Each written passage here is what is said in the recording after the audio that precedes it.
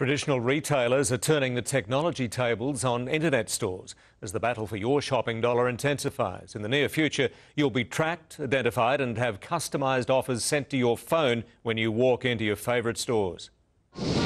Forget searching for bargains, they're about to come to you. And they'll be personal, triggered by your mobile phone. They'll be able to send me special discounts, push notifications of something that might appeal to me, such as 50% off shirts or dresses. It's already underway in the US with an app called Swirl. In store sensors detect when customers are in or near the shop.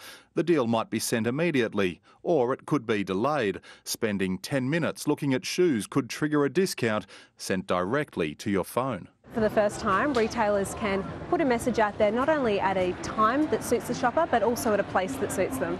Do, do, you run the risk as a shopper, though, of being swamped by messages? Absolutely not. This is something that shoppers need to opt into. Your smartphone will also help retailers track your movements. We're about to embark on a pilot project with a major Australian retailer that will see them use Bluetooth to better understand the pedestrian traffic that goes through their stores. It will help retailers put staff where they're needed most. In this case, the information is anonymous, but shopping is about to become far more personal.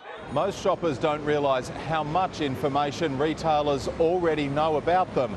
Every time you use a loyalty card, they learn more, and they're about to use that knowledge like never before. They can see when you're about to run out of coffee because they can test uh, how often you, you purchase coffee. So they can indicate at what point you're going to run out of coffee and they'll send you a, an offer for coffee. Combine that with facial recognition technology and retailers will know who you are the instant you walk into their shop. They'll send you a text message to your phone welcoming you back uh, thanking you for a recent purchase and possibly uh, offering you a, a complimentary product. Targeted advertising tempting shoppers to part with more of their money. Uh, what if I'm a man who doesn't really like shopping? I'm only there to hold the bags. You can wait outside.